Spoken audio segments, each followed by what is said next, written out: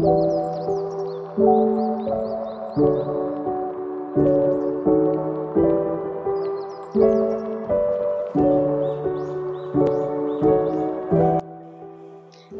yang kita tahu, Malaysia terkenal dengan pulau-pulau yang cantik. Salah satunya ialah Pulau Redang di negeri Terengganu. Pulau Redang adalah salah satu pulau yang terbesar dan tercantik di pantai timur Malaysia.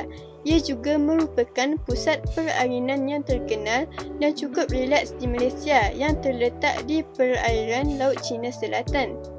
Pulau ini merupakan salah satu daripada sembilan buah pulau yang membentuk taman laut serta tapak pemeliharaan penyu yang penting. Apakah aktiviti yang menarik yang boleh dilakukan di Pulau Redang? Antaranya ialah scuba diving. Kepelbagaian biodiversity membuatkan Pulau Redang popular dengan kawasan uh, scuba diving. Antara kawasan yang popular ialah uh, Tanjung Lang dan Tanjung Tokong. Terdapat lebih 20 tempat menyelam untuk semua tahap penyelam.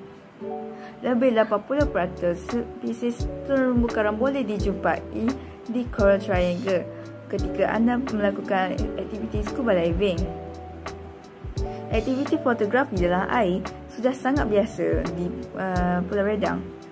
Sehingga kan terdapat kedai-kedai yang menyewakan kamera dengan bayaran lebih kurang RM30 untuk satu hari. Seterusnya ialah aktiviti snorkeling. Kejenihan air di Pulau Redang membuatkan ia menjadi pilihan untuk peminat atau yang baru ingin mencuba aktiviti snorkeling ini. Pemandangan dalam air yang dihiasi terumbu karang ini masih terpelihara dalam habitat asalnya. Antara tiga penginapan terkenal di Pulau Redang ialah Laguna Redang Island Resort. Penginapan ini mempunyai slogan Doorstep to Paradise dan membawa konsep bilik idaman. Sudah tentu banyak variasi bilik yang disediakan oleh mereka kepada tetamu yang berkunjung. Antaranya Standard Room, Deluxe Garden, Deluxe Pool, Deluxe Sea. Selain itu, akses wifi juga disediakan percuma di bahagian lobi resort. Selain itu, penginapan yang turut ditawarkan ialah Redang Beach Resort. Seperti namanya, perjalanan ke penginapan ini dikelilingi dengan pasir pantai yang putih dan kehidupan terumbu karang. Redang Beach Resort ini terletak berhampiran dengan pas, pantai pasir panjang. Pilihan yang boleh diambil ialah unit standard, bilik superior, unit studio, villa dan club deluxe. Terdapat dua jeti yang dapat membawa kita ke Pulau Redang. Yang pertama ialah Jeti Merang. Ia terletak 40 km dari Bandar Kuala Terengganu. Di jeti ini, anda hanya boleh menggunakan servis bot sahaja. Masa perjalanan lebih kurang 45 minit hingga 1 jam. Kalau laju, kira-kira 30 minit pun sudah sampai. Yang kedua adalah Jeti Syabandar di Kuala Terengganu. Di sini, anda boleh naik feri dan perjalanan lebih kurang 1 jam setengah hingga 2 jam.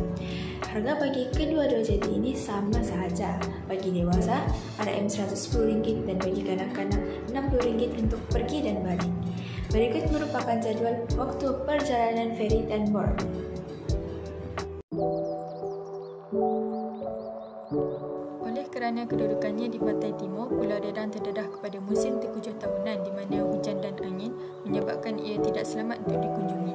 Operasi resort-resort dan perkhidmatan pengangkutan semua berhenti dari bulan November hingga Februari kerana pada waktu ini Pulau Redang mengalami musim monsun.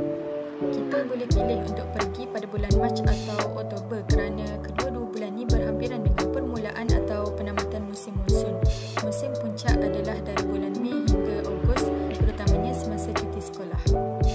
Spesies yang kita boleh temui di Pulau Redang bergantung pada masa kita ingin berkunjung. Melawat pada bulan Mei hingga Ogos jika ingin bertemu dengan penyu hijau. Pada bulan Jun pula,